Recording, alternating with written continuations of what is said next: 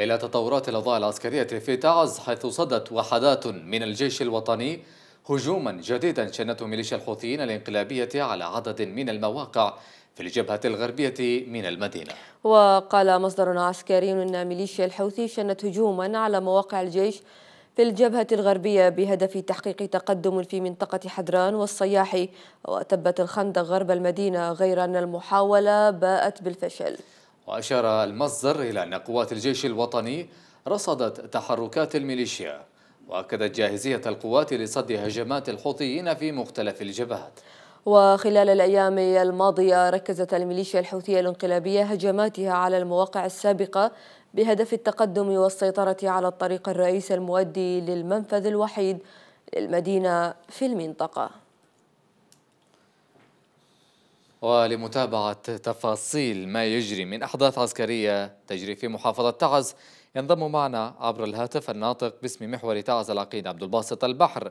مرحبا فيك سيادة العقيد. إذا هذه التطورات الأخيرة التي نشبت آه، من خلال المعارك بين آه، الجيش الوطني وميليشيا الحوثيين في حذران على وجه التحديد ما الذي نتج عنها؟ وما الأسباب التي أدت إلى اندلاعهم مجددا؟ آه، الحقيقة منذ أيام تحاول الميليشيات الانقلابية أن تحدث أي اختراق في هذه الجبهة بالذات الجبهة الغربية لتعز سواء في محيط معسكر اللواء 35 سابقا المطار القديم أو في آه، حذران وادي حذران والخندق وأيضا منطقة الصياحي. القريبة والمطلة جدا على منطقة الضباب آه، التي يمر من خلالها الخط الرئيسي الرابط بين محافظة تعز ويصلها بالمحافظات الجنوبية والشرقية. آه، الهدف الرئيسي لهذه الميليشيات إحكام الطوق وقطع شريان الحياة وإعادة الحصار الكلي على آه، تعز التي آه، استطاعت خلال آه، السنين الماضية تجاوز هذا الحصار وفتحه جزئيا من المنفذ الغربي. عدة زحوفات ومحاولات للتسلل وتحشيدات وهجومات تحت غطاء ناري كثيف بالكاتيوشا والمدفعية الثقيلة والدبابات وأيضا العربات لكن الجيش الوطني آه، بفضل الله تبارك وتعالى ثم بفضل عزائم الرجال الأشداء الأبطال استطاع أن يكسر هذه الهجومات ويعيد هذه الزحوفات خائبة وخاسرة ويجبرها على التراجع والفرار آه، في كل محاولاتها آه، السابقة نعم. وأبطالنا ثابتين ثبوت الجبال في هذه المواقع. ذكرت في كلامك بأن الحوثيين يحاولون تحقيق تقدم آه، على المواقع التي تسيطرون عليها وبفضل قوات الجيش الوطني وأبطال الجيش الوطني استطاعوا صد هذه الهجمات المتتالية، لكن من أين يأتي أو تأتي هذه العناصر الحوثية لتشن هجماتها على آه، مناطق أو مواقع سيطرة الجيش الوطني؟ من أي مناطق يأتون؟ أقصد أي ما هي المواقع التي يأتون منها؟